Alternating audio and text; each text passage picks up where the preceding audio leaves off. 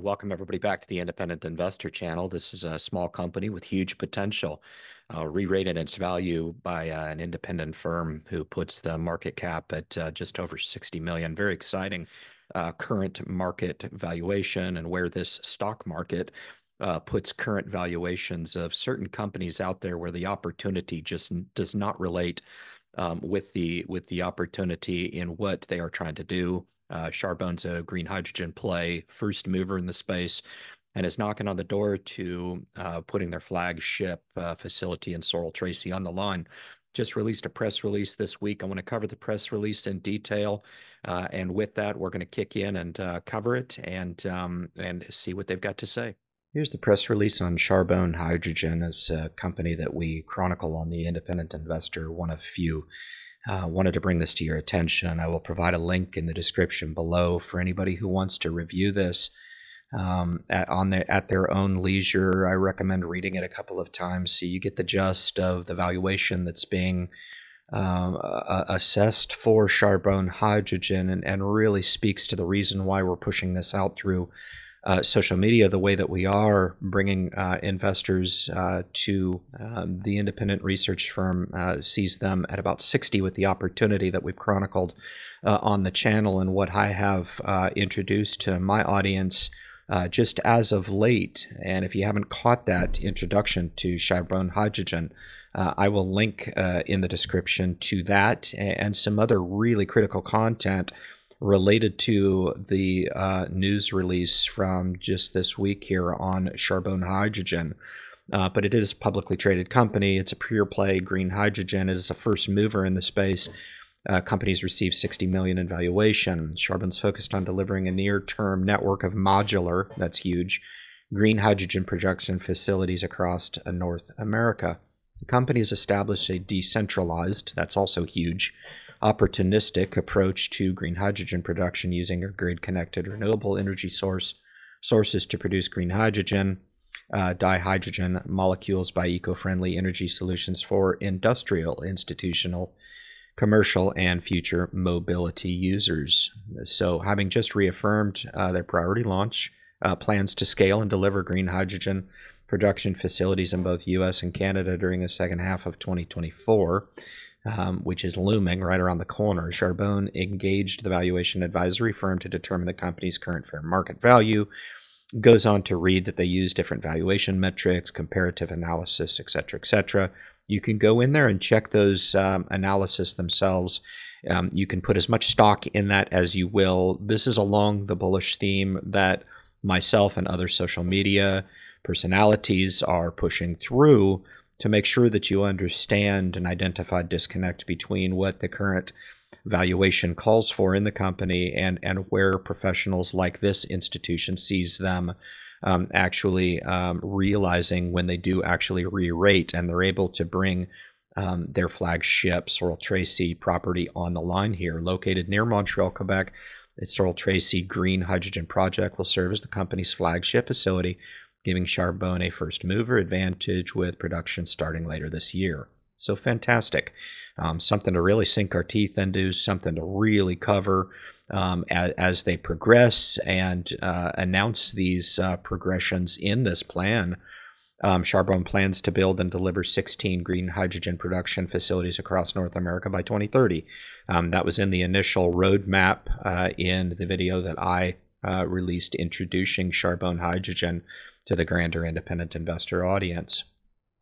So fairly busy here, um, guys. I, I, will quote uh, the CEO, Mr. Dave Gagnon, here. This valuation showcased the remarkable growth potential of Charbone's current business and project interest in the Montreal and Detroit energy. That's that's fantastic um, uh, Detroit areas, as well as our ability to forge strong business and financial partnerships. We've worked hard to create lasting relationships with government and industry partners secure our current plant optimization plans in 2024. We feel incredibly confident in our long term vision and prospects for investor success. Fantastic.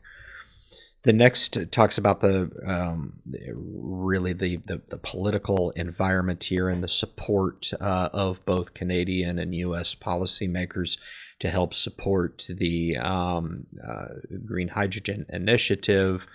Um, it's the CHITC Clean Hydrogen Investment Tax Credit, which could mean up to 40% tax credit um, to uh, companies like Charbone. We kind of know this, but it is a, a, bullish tailwind for sure for the company to understand that there will be incentive and support to help augment the high upfront investment cost to get facilities like this and others on the line. But uh, the first one being the most difficult, that being the Sorel Tracy. Sorel Tracy Green Hydrogen product will serve as the company's flagship facilities, giving Charbone a first mover advantage with production starting in the second half of 2024, following a phased approach and gradually accelerating to produce uh, approximately 200 kilograms per day. That has to do with the electrolyzer that they will start with during phase 1A and phase uh, 1B uh, and eventually rolling into the actual phase one uh, of Sorel Tracy uh, with the higher capacity and, and the higher equipment that can yield more green hydrogen on the back end. It replaces gray hydrogen with clean, reliable, renewable alternative hydrogen produced from fossil fuels. So that is the press release, guys.